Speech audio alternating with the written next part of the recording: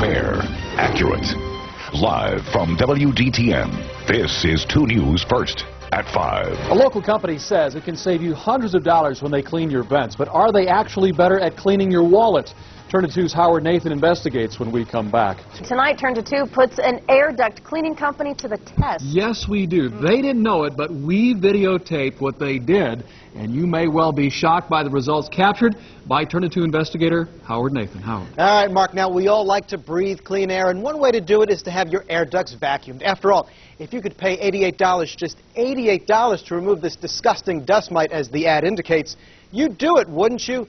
Because let's face it, you don't want to be left in the dust. We began our test by using video supplied by McAfee Air Duct Cleaning, a local Better Business Bureau member in good standing. This is a this is the camera that goes down the ductwork. It's on wheels. As you can see, there's a dust storm inside the ducts of this Butler Township home. The ducts have not been vacuumed in a dozen years.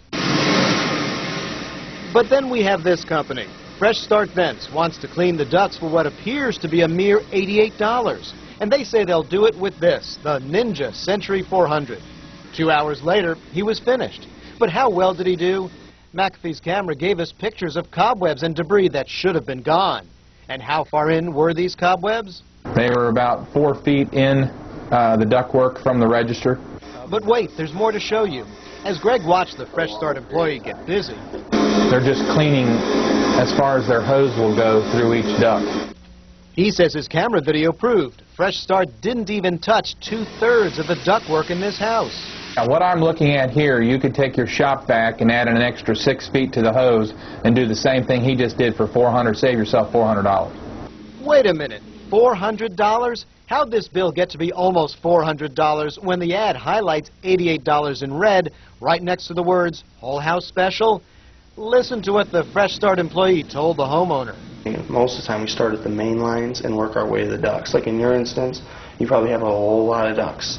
And a lot of ducks means a lot more money, or as the fine print says, at an additional charge. This is incredibly misleading. Donna Childs is the president of the local Better Business Bureau. Your little light bulb should be going off. If somebody says, I'm going to clean your, your whole heating system, your air ducts, for $88, you need to say that's nuts.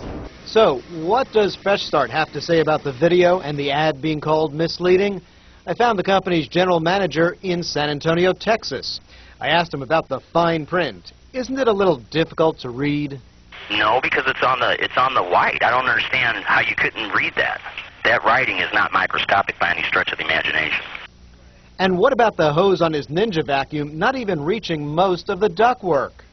We stand behind the work. If it wasn't done properly, certainly we'll go back out there. This is the first conversation I'm having about this particular instance because the customer didn't call us directly to ask to take care of the problem. Mm-hmm. And in fact, he did offer a refund. But one more point. Now, the ad shows a dust mite next to air duct cleaning, but researchers at Clemson University say dust mites do not live in the air ducts in your home. And unfortunately, that's why people go out and spend the money. Yeah. That's not why you want to clean the ducts. You want a more efficient system and get rid of any foul odors. So there you go. Oh, and at six, at six, we'll talk about the proper way of having your ducks cleaned. Again, if it sounds too good to be true, You can finish the line. is. All right.